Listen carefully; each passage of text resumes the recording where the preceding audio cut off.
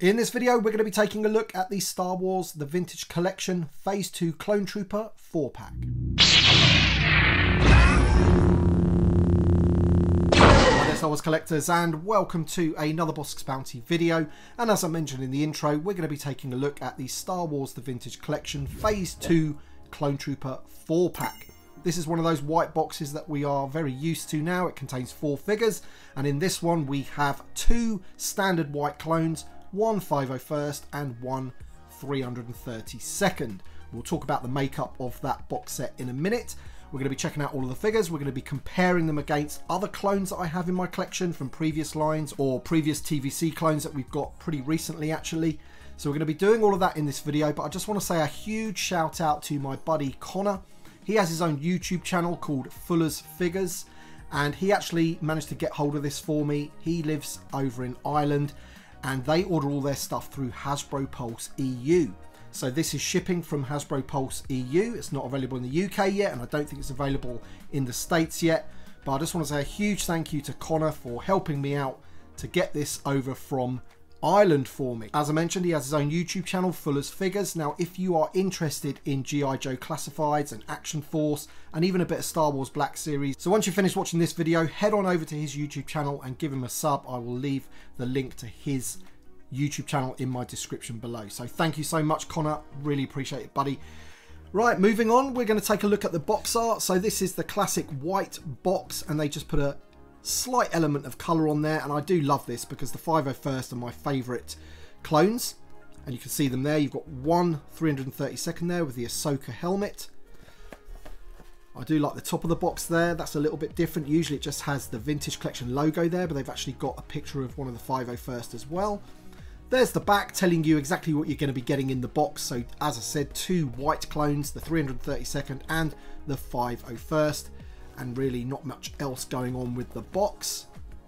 Some people like these, some people don't, but we're going to open them up now and check out the figures. So there you go, once again, you can see that these are packed in these little wax packets, four separated by cardboard. So that's pretty cool. All right then, so here they are out of the packaging. We've got the plain clone troopers on the left hand side, then we've got the 332nd, and then we've got the 501st. Now, first of all, overall, I'm reasonably happy with these. I'm loving the new helmet on these. It's not a removable helmet. It is a swappable head helmet. Unfortunately, you don't get any of the heads with the pack. All you get extra is two extra larger blasters there, as you can see, plus the four blasters that they're holding. So you don't get any extra heads, but I have tried taking off the helmet and putting on the head of the standard clone trooper from the Andor packaging, and it fits perfectly. You know, it's exactly the same. So that's that's a plus.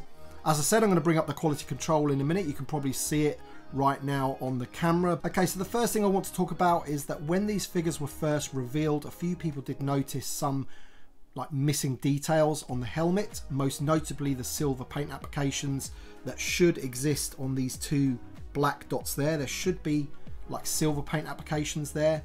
That is accurate to, you know, clone troopers basically and I'll show you on some previous releases where those exist when we compare them basically. Because unfortunately these figures just like the press images don't have those. But in terms of the helmet sculpt I'm much happier with this sculpt compared to the version that came with that new phase 2 clone on the Andor card. That is a removable helmet. It doesn't really cover the full head of the figure. You can see his chin underneath. And the helmet's just a little bit sort of I don't know a little bit gummy it doesn't look right basically. These for me look much better. These are almost perfect. They are almost up there with the original antenna mold sculpt, which I will compare in a second as well. But I just wanted to sort of line them up here so you can take a look at them. The quality control issue that I wanted to highlight is on the 332nd Clone Trooper. I mean, look at the paint applications on his helmet there. They are way off to the left. They should be center, and that is not good at all. So that is the only one I feel has got, you know, bad paint applications. The rest of them look all right to me. But, you know, with these four packs, I feel the sort of quality of the paint applications isn't as good as your standard sort of you know carded figure okay so the first thing that i wanted to compare was what i was just talking about there which is the andor clone trooper here versus the new one from the four pack you can really see the difference in the helmets you know the paint applications on this one are too thin the visor's way too thin, and the helmet is a little bit wide. This one's been brought right in and I just feel it looks a hell of a lot better in my opinion. He's also more of a white colour as well compared to the Andor one. I always felt that the Andor one was a little off-white colour compared to some of the other clone troopers that I have in my collection.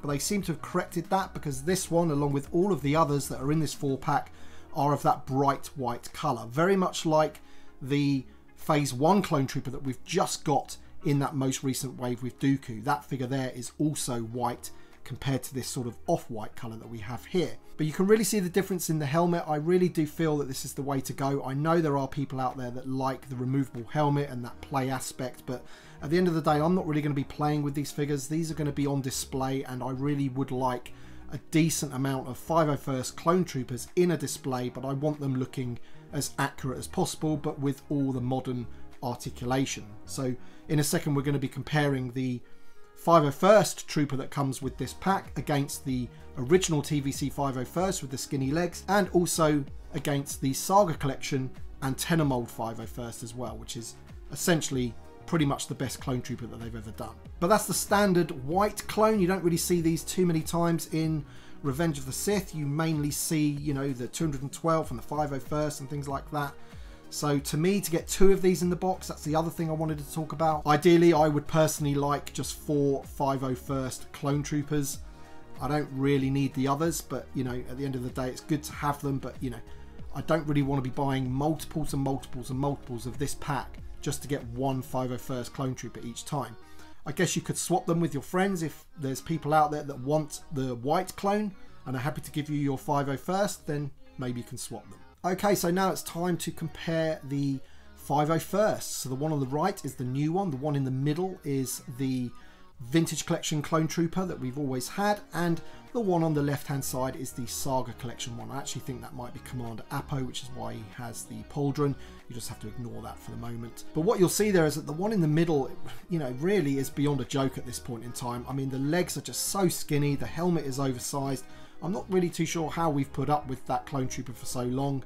The new clone body, in my opinion, is far superior to that one, and the helmet now is much more in scale because it's not removable. So for me, that is the way to go. As you can see on the left-hand side, you know, for, for years and years, this was the perfect clone trooper. The helmet's great, the body's great. It just lacks the articulation these days. It's got the swivel hips to start with, and yeah, it's just lacking in that kind of area. But you know, don't get me wrong, it's a brilliant looking clone trooper, absolutely. And the other thing you'll notice as well is the color differences. So these two actually look quite similar. The new one is more of like a, I don't know how to describe that, maybe like a royal blue, whereas these are a much more sort of darker blue with almost a hint of turquoise in there, I would say.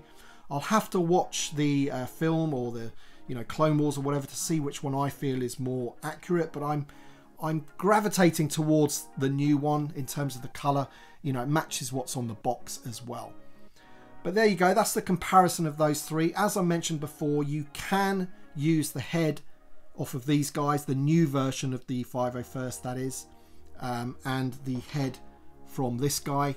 You can use that on these new clones. I will do that for you towards the end of the video just so you can see what it looks like. But essentially, you know, they're the same body, so it's just going to look like that basically. So that's the 501st.